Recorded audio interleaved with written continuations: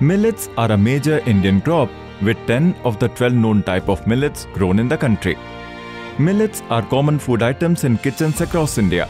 Millets have complex carbohydrates which are slow to digest and hence have a low glycemic index which is beneficial for blood sugar levels. Millets are also rich in essential vitamins, minerals, proteins and fibers. Besides diabetes, millets are beneficial for people suffering from anorexia and obesity as well. The United Nations declared 2023 as the International Year of Millets at the initiative of the Indian government, which was backed by 72 other countries. Along with the G20 presidency, this initiative by India has been lauded globally as part of its series to popularize millets CSIR Innovations on Millets event was organized by the laboratories of the Council of Scientific and Industrial Research. Dr. Jitendra Singh, Union Minister of Science and Technology and Earth Sciences, who addressed the event, also appreciated CSIR efforts and said that after the popularization of yoga globally, it's now time to do the same for millets. We are on track to make up for the last 50, 60 years, as was being mentioned, I think, by Ankush. It is also time to realize the huge resource that we had amongst us, but which remained underutilized or unutilized. And also for a country like India, which has uh, always faced issues related to food in one way or the other. Just before independence, we had famine. Then soon after independence, in the earlier years, we had the issue of food scarcity.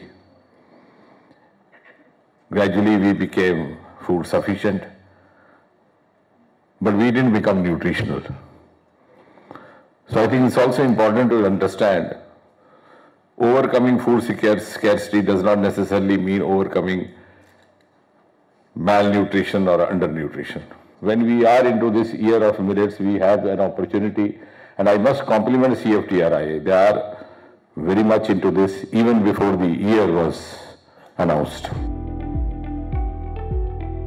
At the event, the Union Minister also inaugurated an exhibition on millets organized by CSIR NPL and released a desktop calendar. The exhibition had a display of products and technologies developed by CSIR CFTRI and also by other CSIR labs, showcasing the capabilities of CSIR CFTRI in the R&D of millets. The efforts are to take the Institute's technologies on millets to various stakeholders at the national level.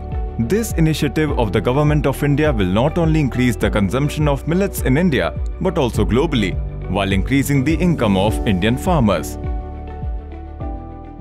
So we all have heard about millets, but it was a part of our uh, traditional diet since Vedic times.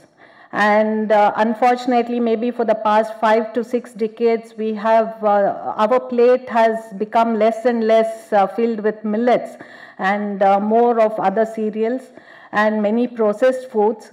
And uh, today we are rediscovering it. And this is probably thanks to the government of India emphasizing, especially through um, in uh, 2018 when it was declared the National Year of Millets, and that is when we started rediscovering the nutritional, the health benefits, and how safe they are, how good they are for our health, and so on and so forth.